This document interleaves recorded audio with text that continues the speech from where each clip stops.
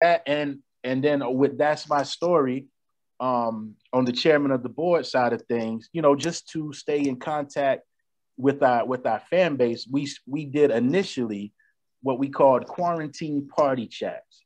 You know, so it would be me, Ken, Brandon, maybe our bass player D, uh, mm-hmm. some of the horn section sometime.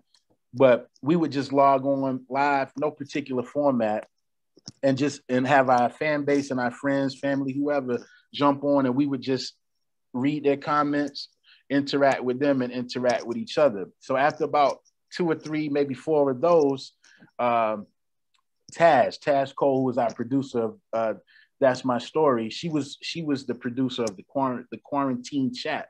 So she had an idea that she discussed with Ken. And uh, so we started this thing called That's My Story, man. And uh, Ken invited me to be a part of it, which, which looking back, you know, even when we were on the road going to our destinations to play, he would always go live and hand me the phone and let me kick off the live video and talk to the people. So he had a vision even after me doing that to make me a part of that's my story. And and you know, man, it's been great. We talked to a lot of legends of in the music industry, and you know, me being I'm kind of the, the baby of the situation, but I'm getting right. a chance to uh to to chat, and it's live. It's live. It's interactive. People can comment. We have a section called um, Shining Stars where we let people ask questions to the guests.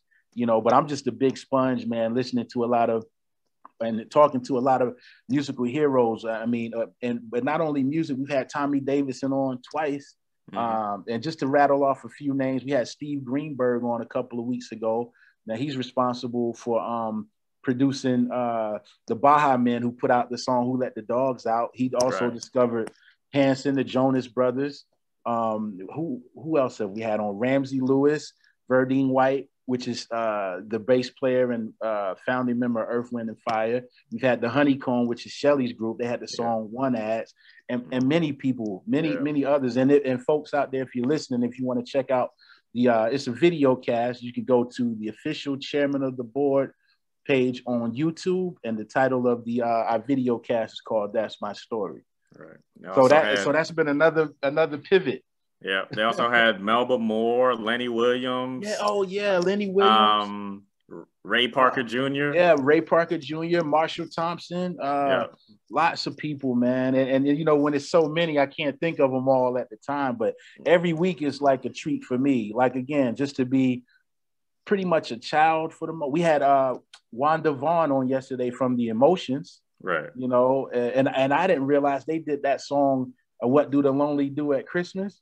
Not uh-huh. only that, yes, yeah, so in doing my research, I'm like, oh, that's y'all too. And of course, they had the song "Best of My Love," mm-hmm. and she's married to Wayne Vaughn, who um, he did a lot of writing and producing for Earth, Wind, and Fire.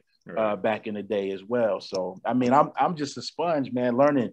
You know, it, it looks like I'm interviewing these folks, but I'm I'm I'm soaking up game.